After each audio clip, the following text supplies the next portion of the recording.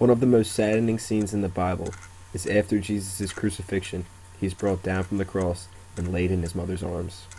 This scene has been portrayed many times throughout the history of art. The scene is called the Pieta, which is the Italian for pity. The scene is usually portrayed as an agonizing moment, as this sculpture is right here. Michelangelo was commissioned by a French cardinal to construct his own Pieta. The contract was signed in 1497, and in it, it had that the Virgin had to be clothed, Christ had to be dead in her arms, the sculpture had to be as large as a man, and he would be paid 450 papal ducats in gold if he finished his work from the a year from the start. In the scene, Jesus is seen in in his mother's lap as his head hangs back. As visibly seen, Mary is much larger than Jesus in the sculpture. Michelangelo tried to hide Mary's great size by sculpting the drapery under her, under Jesus. The reason Mary is bigger is because if Jesus was bigger and laying on her lap, the sculpture would look awkward and clumsy, not peaceful and majestic as it does now. One of the aspects that sets Michelangelo's Pieta apart from the rest is the controversial age of Mary. At the time of the crucifixion, Mary would have been in her 50s, while Jesus was only 33 years old. However, in the sculpture, Mary looks much lo- younger than the 33 year old Jesus. There are many different theories as to why Michelangelo portrayed Mary to be so young. One of the views is the Neoplatonic view that Mary is portrayed in her ideal form, although there's not much evidence supporting this since Jesus is not portrayed in his ideal form by his scrawny body. The other view involves the Holy Trinity, which the shape of the, cult- the sculpture symbolizes because it looks like a triangle from the frontal view. According to the Trinity, there are three divine bodies the Father, the Son, and the Holy Spirit. Jesus is God the Father and God the Son at the same time. So therefore, he is Mary's uh, son and husband at the same time. So the sculpture portrays Mary not as the mother of God, but as the wife of God. Michelangelo may have got this view from Dante's Divine Comedy, where he says, Virgin Mother, daughter of thy. There is also the modernist view, where the two are in two different time frames. Mary is seeing Jesus at his birth, while Jesus is in his present state at his death. Michelangelo's historic background says that he portrayed Mary as young because his own mother was young when she died, so he wants her to look eternally youthful, just as his mother was to him. There is a quote from Michelangelo that suggests the true reason behind him making Mary look so youthful. Ascanio Condivi, his friend and biographer, wrote down that Michelangelo said, Don't you know that chaste women remain far fresher than those who are not chaste? This is a theological perspective that says that since Mary was a virgin, she would not age as fast as women who were considered tainted. This is a very strict Catholic approach, which makes sense because Michelangelo was a devout Catholic. Although Jesus appears at the right age, his appearance also seems odd. He is shown with no crown of thorns, no nails, no gashes, no wounds, no blood, and no sweat. He lays in his mother's arms as if he is sleeping, not as if he is dead. This adds to the serenity, peace, and deepness of the work of art. It is a controlled and intense sadness between mother and son. Jesus also looks slender and weak, which goes against some of Michelangelo's other work. In Michelangelo's sculpture of Jesus carrying the cross, you could see, clearly see a muscular Jesus, differing from the Jesus in the Pieta. This is one reason why some say the Michelangelo, the Pieta does not look Michelangelo-esque. Its intricate folds and complex elements, like the veins and the curled beard of Jesus, make it look almost Gothic. The only parts that seem truly Renaissance are its purity and its single minded unity. During the time that it was shown to the public, some people even claimed that it was not Michelangelo's work.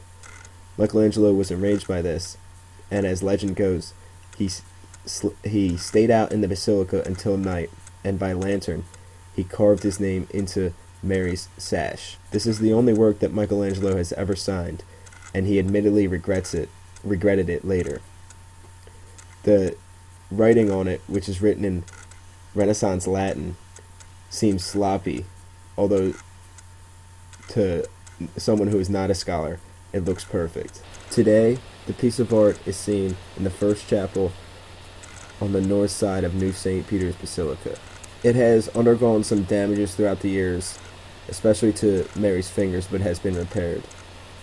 In one story, a mentally ill man attacked the Pieta with a sledgehammer and knocked off Mary's nose, but marble was taken from her back to reconstruct the nose.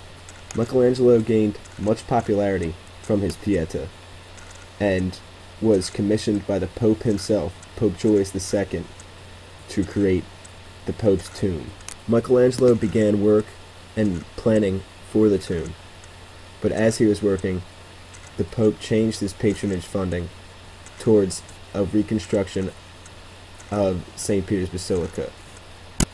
Michelangelo was outraged that the Pope was not funding his project anymore, and he left Rome completely. He would not return until the Pope uh, prompted him into coming back to paint the ceiling of the Sistine Chapel. The Pope died in 1513, and contract disputes over the completion of the tomb went on for 30 years after the Pope's death, but with his family members. The final agreement is to have Michelangelo only sculpt three of the figures on appearing on the tomb. The active life and the dedicated life. Michelangelo's original plan was extravagant, which would include over 40 figure, figures sculpted by him himself, leading to an apex at the top where the Pope's sarcophagus would be laid. Contemplative life. The three sculptures that he made were all at the lower levels of the final tomb. The sculpture of Moses is clearly the most powerful of the three. The story of Moses, according to the book of Exodus, is that he led the Jews out of Egypt and went up to Mount Sinai to receive the Ten Commandments from God. Upon his arrival back down with the Jews, he saw them worshiping a pagan uh, golden calf. He was outraged and threw God's tablets on the ground, smashing them. In the sculpture, Moses is carrying two tablets, which are the Ten Commandments, in his right hand. The sculpture is an immense, eight feet high, sitting down, and was originally planned to be on the higher level of the tomb, so his abdomen region is unproportionately large. The sculpture p- portrays Moses as a wise but powerful, leader, but also one of terrible wrath. The art critic Vasari describes it as terribilitia, which is similar to the sublime. And sublime is anything that uh, conducts fear, fright, or terror into the view. Moses' powerful arms, strong legs, large beard, and deep stare definitely reflect fear. In the sculpture, Moses' left leg is brought back all the way, as if he is about to stand. Many believe that this is the moment that Moses stands up in rage and throws the tablets at the ground after seeing the Jews worship a pagan. A counter argument to this is that the tablets are clutched firmly in Moses' right hand, and that his left leg is brought back simply because he is meant to be a corner piece of the tomb, and the right side is closed up because the Pope is meant to be on the right, uh, leading to this centerpiece. They would argue that his deep stare is simply because he is awe-stricken after seeing God. He is seen with horns on his head, which comes from the mistranslation of St. Jerome's Vulgate Latin Bible. The Hebrew word for shine was mistranslated into cornutus, which is the Latin word for horn. Michelangelo may have put the horns there purposely, because horns are a sign of divinity in the Nordic and Near Eastern cultures. He is also seen with gartered breeches on his legs, which are considered Germanic and are seen often in Roman triumphal arches to portray the Germanics. In fact, the original tomb was planned on to be very classical and Roman, portraying many prisoners like Germanic people in Rome. Moses' intricate beard is considered to be the best beard in art history. It also serves to create a lot of movement in the painting, aside from its intricate curls and weaves. Moses' left foot is kicked back, which makes his hips turn left, yet his abdomen turns right, while his head turns left, and his beard is turned is pulled right. So it creates a lot of motion and makes Moses feel alive and adds to his power. Above all, Michelangelo aimed to make Moses look as powerful as possible because he was meant put there for the purpose of guarding the tomb of Pope Julius II. One may wonder how Michelangelo went about creating these incredible marble sculptures. He would go to the quarry and envision the piece of artwork inside a block of marble. He looked for signs of life in the marble and would discard any piece of marble that did not seem pure enough. Before he started sculpting, he would make numerous drawings and clay figures or wax models. Today, the tomb of Julius II is seen in San Pietro in Vincoli, Rome. This is also the the resting place of the believed chains of St. Peter. Michelangelo is possibly the greatest artist ever. His range is seen through the peaceful and serene sculpture of the Pieta and the powerful sculpture of Moses.